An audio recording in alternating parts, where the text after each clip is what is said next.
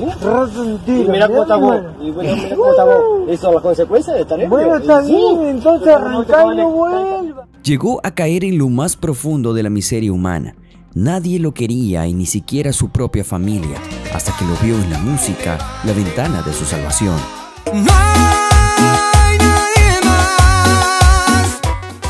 Hoy Emanuel Noer y su banda, qué personajes, han puesto la cumbia argentina ante los ojos del mundo.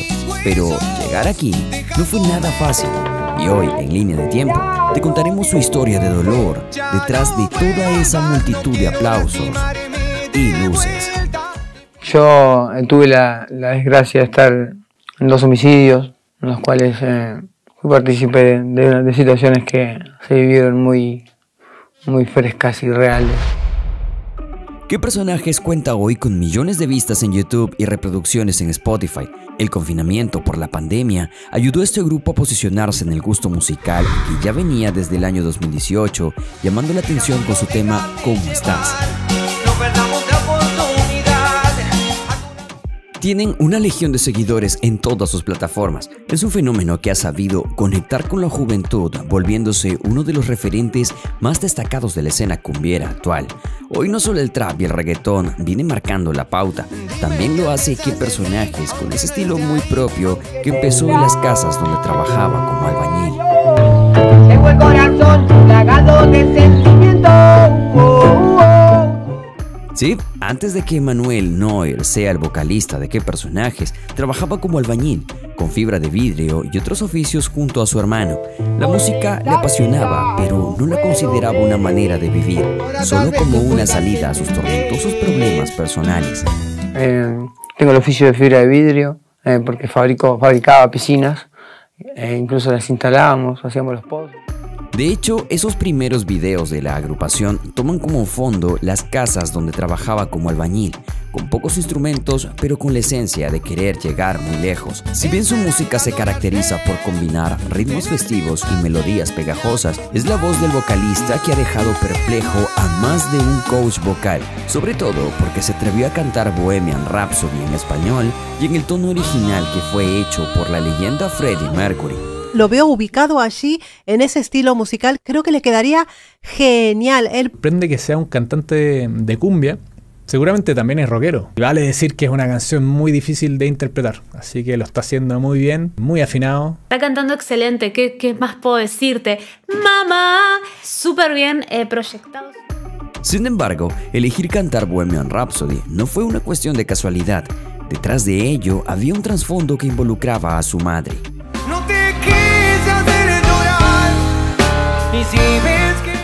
Cuando vos estás en un asado, tu mamá te ve tan mal y te quiere cocinar para que por lo menos coma en su, en su lastimoso ser, eh, viendo cómo su hijo se autoflagela.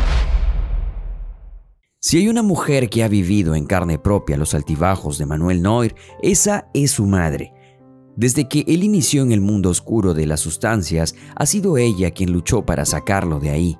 Entonces fui hice un ambulatorio que fue una pedorreada, pero bueno, son los primeros recursos que una madre agarra y Sí, hace frente a su, a su hijo más chico y que cualquier... Lamentablemente, ese primer intento no fue suficiente. Emanuel y su familia vivían en una de las zonas más convulsionadas, donde lo que sobraban eran los vicios. No tenía una figura paterna en quien apoyarse como su guía, por eso hoy es padre de mellizas. Entiende la gran responsabilidad que eso implica. Trato de aprender y ser el padre que no tuve. Uno, uno tiene que aprender a perdonar y, y nada, ¿viste? Entonces trato de ser el padre que no... Emanuel es hoy un testimonio de esperanza para la juventud. Sin embargo, antes de triunfar estaba muy pero muy lejos de serlo. Desde los 13 años empezó su consumo y a la par las bebidas. Era un chico descontrolado que veía en sus alucinaciones la paz que necesitaba para escapar de sus problemas. Es la elección más errónea. Eh, puede optar por creer porque le da una satisfacción momentánea. Vas a robar, vas a matar, vas a hacer lo que se te cruce, lo que las pelotas te den o Y precisamente por esto último es que tuvo problemas. Dejó de tener esa voluntad para diferenciar lo bueno de lo malo y solo relacionaba a lo que pedían las sustancias.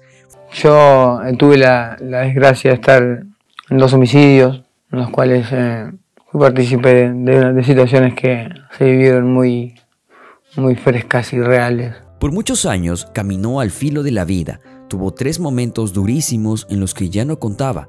Vivía entre la esquizofrenia y paranoia tras ese consumo excesivo.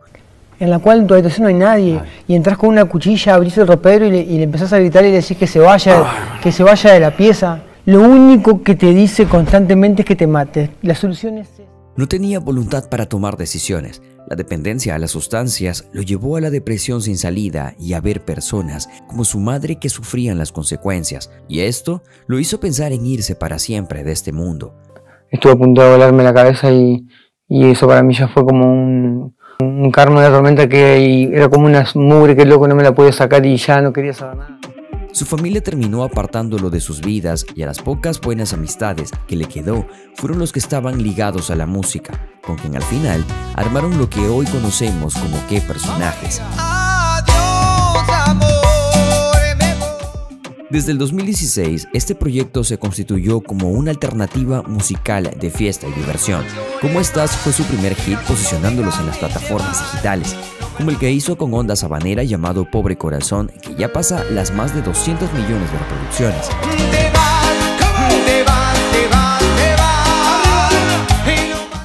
Pero fue en el año 2020 que Emanuel le puso punto final a su agónica situación y decidió hacer cambios totales no solo para él, sino también para sus hijas, su madre, sus compañeros de la banda y su público. Eh, pero lamentablemente yo tengo un problema de adicciones, hace muchos años ya. Decido eh, irme a un lugar para estar eh, unos meses en recuperación. Así que seguramente las redes Y mira cómo estamos. Y bueno, mira cómo son las consecuencias de estar. Bueno, está sí. bien, entonces arrancá y no vuelva. Entonces arrancá. En sus conciertos era común que estuviese acompañado de cerveza. Sin embargo, desde septiembre del año 2020 hasta el día de hoy, Emanuel no acepta ni una gota y esta negativa le ha valido a veces tener enfrentamientos en vivo con otros cantantes como Elegante.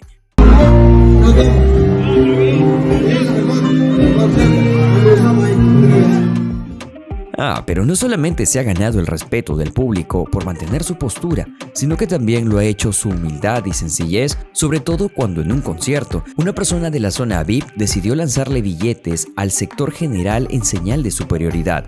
La situación hizo que el mismo Emanuel parara el concierto y dijera esto.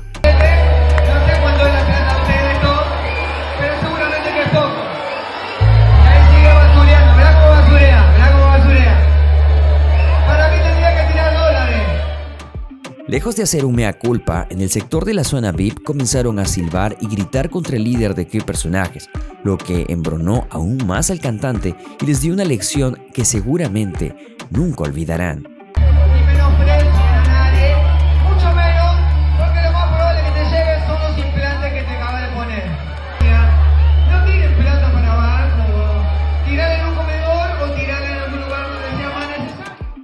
El venir desde abajo le ha permitido sentir en carne propia lo que es ganarse el pan a punta de sudor y lágrimas.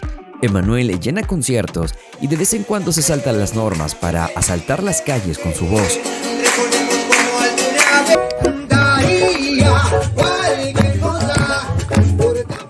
Bueno, ¿qué personajes es un furor en Latinoamérica y ha llegado a países como Perú, específicamente al Cusco, para dar un concierto inolvidable? Desafortunadamente a la organización se le pasaron muchos controles y terminaron cancelando el evento.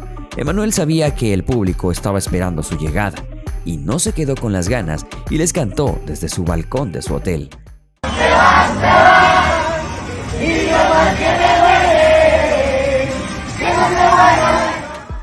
Es así como Emanuel Neuer está siendo recordado por esa simpatía con el público que sigue apoyando sus sueños. En plena pandemia, ¿qué personajes decidió alegrar la vida de los demás compartiendo su arte por streaming?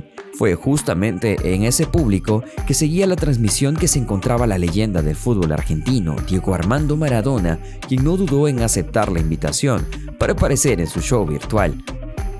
Maravilloso, maravilloso, muchachos. Bueno, hermano, mejor así entonces. Esa era la idea. Por la presencia de un grande y porque dice esta así. Mirá, escuchá, para vos. Que se haga. Si bien el estilo de qué personaje se está rayando en la esfera artística, al parecer para los premios Gardel no son suficientes. Fueron nominados en una categoría, pero les dijeron que su género no es tan importante como para ser televisado. Y Emanuel en un directo le respondió fuerte y claro con estas palabras. Como le dije, los dueños del cumple hacen que su circuito funcione bien, porque si no se le acaba el mercado. Así que nada, disfruten. Con la chao, métase en el premio en la puerta del orto, Gardel. Está claro entonces que Manuel Neuer es símbolo de lucha, sacrificio y constancia. Lleva tatuado su cuerpo para no olvidar lo que la vida le está enseñando.